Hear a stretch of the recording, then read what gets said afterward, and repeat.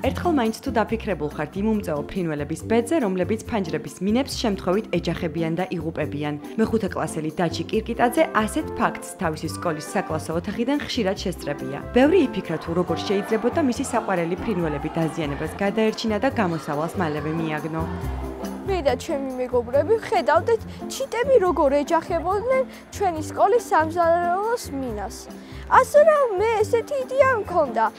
რა გაგვიკრა სტიკერები. ე ასე რომ ჩიტებს აღექვათ ეს ბურთები და აღარ დაჯახებოდეთ მინებს. დაჩიმ თანაკლასელებთან ერთად სკოლის შენობის ჯერ მხოლოდ რამდენიმე ფანჯრის მინას გაუკეთა ეგრეთ წოდებული დამცავი სტიკერები. თუ მისმა გამოგონებამ გაამართლა სამომავლოდ მეგობრების დახმარებით მსგავს დამცავებს სკოლის ყველა ფანჯარას გაუკეთებს. აი ესენი არის სტიკერები. იმედია ამებს აღიქოვენ ეს ჩიტები და აღარ დაიჯახებიან ფანჯრებს. ჩვენ არ არის ბევრ ფანჯარაზე გაკრული, ასე რომ ჩვენ გვინდა რომ უფრო მეტ ფანჯარაზე გავაკეთოთ. აი ახლა ეს გავაკეთო მაგალითად.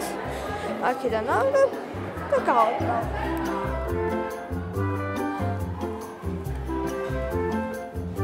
უეცრულად მე იმიტომ დავალაგე, რადგან ჩემი აზრით პატარა ბურთებს ვერ დაინახავენ, ასე რომ წვიურად უფრო ადვილი აღსაქმელია.